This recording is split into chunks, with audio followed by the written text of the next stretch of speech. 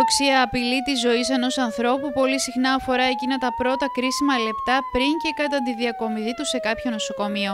Η προσφορά άμεσης και αποτελεσματικής βοήθειας αλλάζει σημαντικά την πρόγνωση του ασθενούς. Με τον όρο καρδιοπνευμονική αναζωογόνηση, γνωστή ως και καρδιοαναπνευστική αναζωογόνηση, ή εν συντομία κάρπα, εννοούμε τη χορήγηση θωρακικών συμπιέσεων και αναπνών διάσωσης σε ένα θύμα που έχει καταρρεύσει και δεν αναπνέει. Η γνώση πρώτων βοηθειών είναι ένα απαραίτητο εφόδιο για κάθε άνθρωπο και αυτό γιατί ο εγκέφαλος μπορεί να διατηρηθεί σε ζωή για μερικά λεπτά χωρίς οξυγόνο, ενώ με την έγκαιρη επέμβαση μπορεί να έρθει σε κανονική λειτουργία χωρίς να υποστεί ζημιά.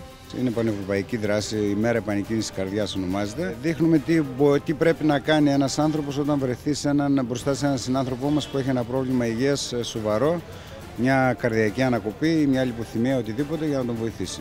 Λοιπόν, ε, θέλουμε να μας δώσετε, βλέπω, αντιλαμβανόμαστε ένα τέτοιο περιστατικό λοιπόν στην καθημερινότητά μας, σε έναν δημόσιο χώρο. Ποιες είναι οι πρώτες κινήσει που κάνουμε, Να πω εκτός από δημόσιο και στο σπίτι μας μπορεί να συμβεί.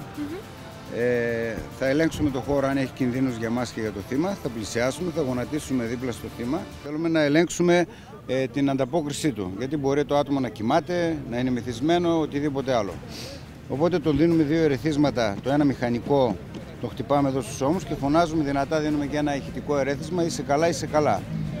Αν ε, αντιδράσει, τον ρωτάμε τι, ε, τι έχει πάθει, τι βοήθεια χρειάζεται και όλα αυτά για να τον βοηθήσουμε. Βάζουμε το κεφάλι μας κατά αυτόν τον τρόπο, το μάγουλό μας κοντά στο στόμα του, βλέπουμε στην ευθεία το στέρνο του, αν ανεβοκατεβαίνει, ακούμε το συρριγμό της εκπνοής ή εισπνοής και αισθανόμαστε το, το χνότο της εκπνοής στο μάγουλο για 10 δευτερόλεπτα. Αν δούμε ότι δεν αναπνέει, σταματάμε τα πάντα και φροντίζουμε να γίνει κλίση στο ΕΚΑΒ. Οπότε για να κάνουμε την ε, καρδιά να την κάνουμε σαν να δουλεύει, θα πρέπει να βάλουμε τα χέρια στο κέντρο του θώρακα και να έρθουμε από πάνω και να πατήσουμε για 30 φορές με ένα και ανάμεσα για να πιέζουμε, να συμπιέζουμε την καρδιά και να αποσυμπιέζουμε για να ξαναγεμίζει με αίμα. Και αρχίζουμε. Ένα και δύο και τρία και τέσσερα και πέντε και έξι μέχρι το και 30. Ωραία. Μετά θα πρέπει να αναπληρώσουμε την ε, αναπνοή του. Με έκταση κεφαλής και ανήψη του πηγουνιού κλείνουμε τη μύτη με τα δύο δάχτυλα, σφραγίζουμε το στόμα και δίνουμε δύο κοφτές ε, ανάσες μέσα. Δώσαμε δύο αναπνοές και συνεχίζουμε πάλι με 30 συμπιέσεις, δύο αναπνοές, 32. Είναι αδύνατο σε κάθε ατύχημα να παρέχονται άμεσα πρώτες βοήθειες από ιατρό ή από κάποιο ιατρικά εκπαιδευμένο πρόσωπο και αναγκαστικά αυτή πρέπει σε μεγάλο ποσοστό να παρασχεθεί από απλούς μη έχοντες ειδικές γνώσεις πολίτες.